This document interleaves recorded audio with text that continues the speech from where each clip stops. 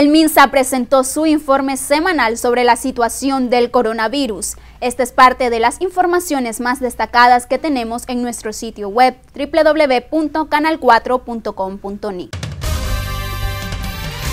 Este martes 23 de agosto, las autoridades del Tecnológico Nacional presentaron el proyecto del Centro Cultural y Politécnico José Coronel Urtecho no volverá el pasado. Las autoridades de INATEC también informaron que este centro contará con una amplia oferta académica para todos los nicaragüenses que deseen tecnificarse. Este martes el Ministerio de Salud de Nicaragua presentó su informe semanal sobre la situación del coronavirus en el país. En este informe se destaca que 47 nicaragüenses fueron confirmados con COVID-19. Desde el inicio de la pandemia hasta la fecha se han atendido y recuperado 14.639 nicaragüenses.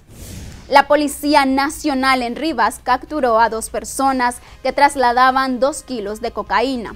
La policía informó que durante una requisa corporal se incautó un saco macén que contenía dos paquetes rectangulares envueltos en cinta adhesiva los cuales contenían una sustancia blanca que a la hora de realizar la prueba de campo dio positivo para cocaína.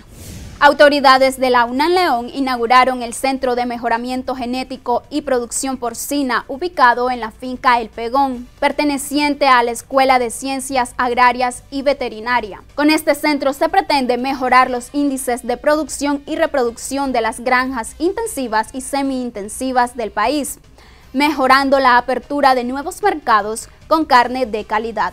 Estas fueron las notas más destacadas de nuestro sitio web www.canal4.com.ni. Recuerden seguirnos en nuestras diferentes redes sociales.